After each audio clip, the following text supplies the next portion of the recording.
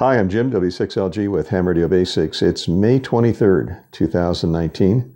It's my 70th birthday, and after 56 years, 57 years of amateur radio, I don't know that I fully understand or frankly believe in RF grounding at the station. And we'll talk about that and how I think you should ground your station right after this.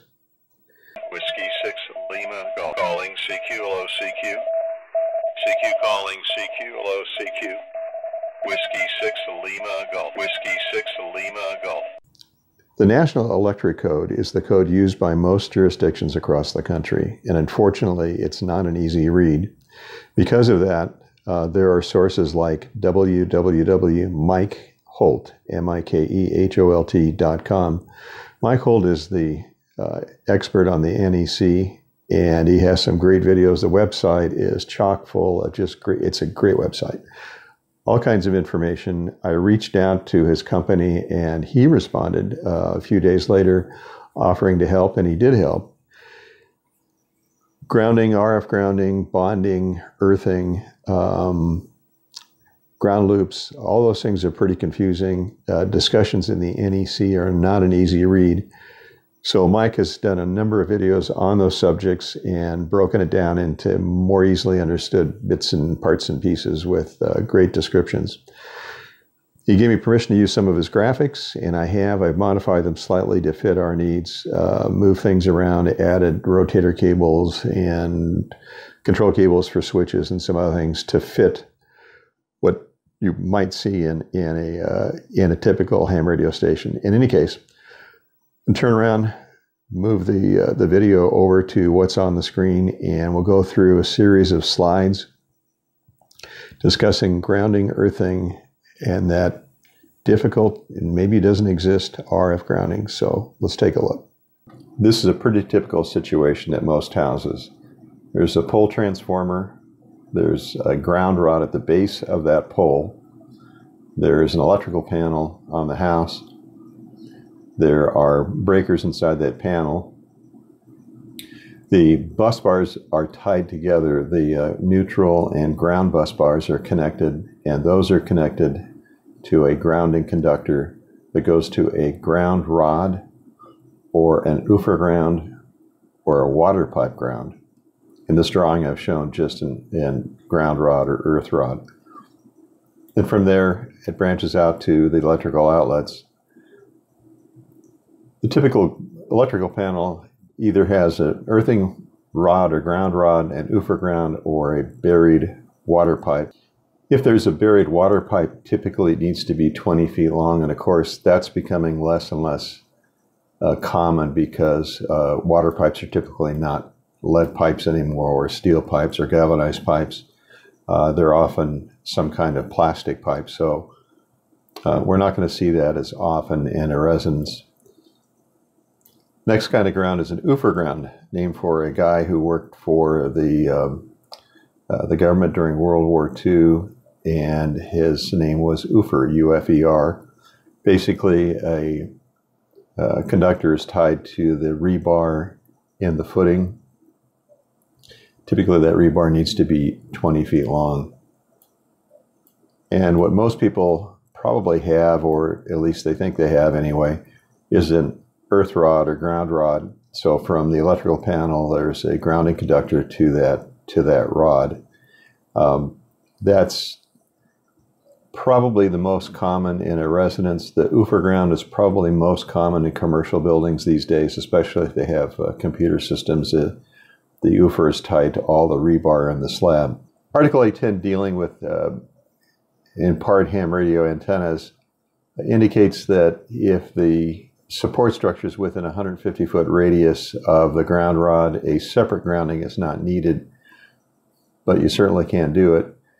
The electrode, the bonding conductor, uh, shall be connected as indicated in 810.21, um, and we'll cover that in just a minute. In buildings and structures with an intersystem bonding termination, most of us have that. Um, that is the point of connection for all bonding to ground. So everything connects to an inner system bonding termination, which is usually located uh, right next to the electrical panel. So the um, the main panel typically will have that uh, intersystem bonding termination uh, block located on a line next to the to the ground rod. And as it says, the intersystem bonding termination must be accessible for connection and inspection. And that's a graphic from uh, from Mike Holt. The next graphic, also from him and modified by me, shows the uh, typical connections to that, and that would be the uh, utility, AC power connects to it, uh, the ham radio antennas and the ham radio transceiver would connect to it, cable TV, telephone, other data uh, circuits that come into the structure.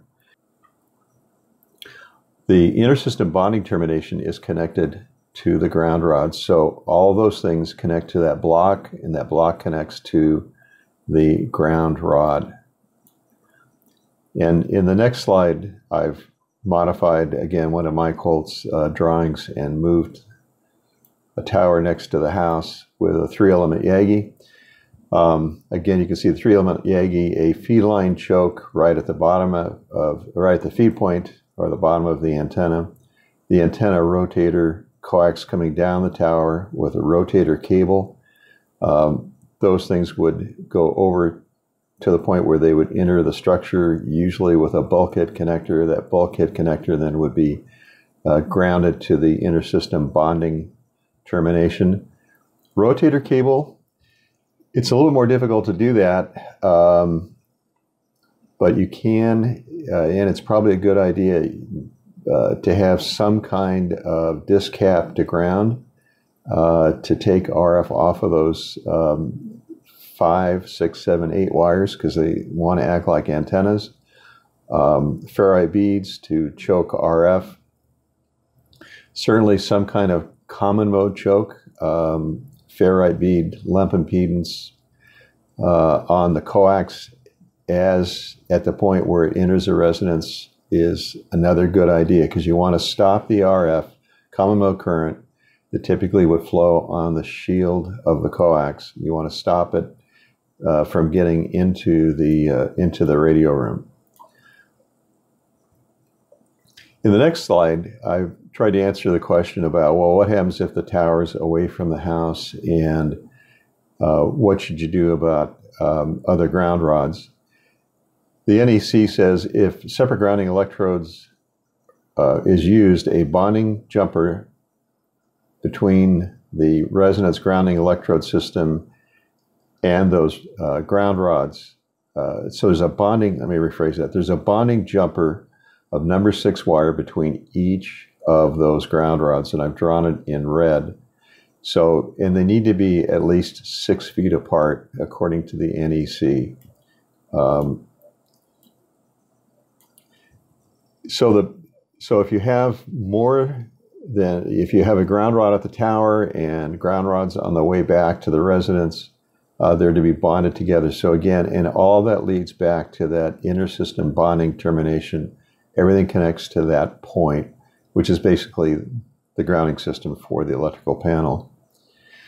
But speaking of which, this is a drawing of uh, kind of a busy electrical panel, but that's the way they are. There are two bus bars. Uh, each uh, has 120 volts each side of neutral. Neutral is at zero volts. So you've got uh, uh 120 uh, of the AC cycle. A 240 breaker bridges those two to get the 240 volts. By the way, it's not 220, it's 240. And in most cases, it's more than 240. Usually it's around 244, 246. In this case, I've drawn a, uh, a linear amplifier plugged into a 120 volt outlet and the transceiver.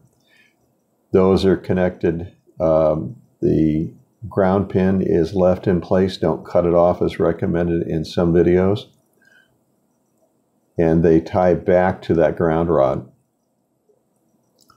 Now here's where some controversy comes in, and that's whether or not there is RF in the shack that you can convey away from the equipment with a ground. I'm not sure that that happens, but it's a good idea to keep all of the equipment at the same potential. So you want to bond not daisy, not daisy chain, but bond all the equipment to a common point. In this case, I painted a green, but it could be a copper pipe, uh, could be a copper strip, could be plumber's tape, could be any number of things. So all of the equipment is connected to that strip, and then from that strip, a flat, wide, low impedance conductor to the intersystem bonding termination. So everything connects again to the ground rod. There's one common point of connection for everything, and that is the intersystem bonding termination or the ground rod, which are virtually the same thing at this point.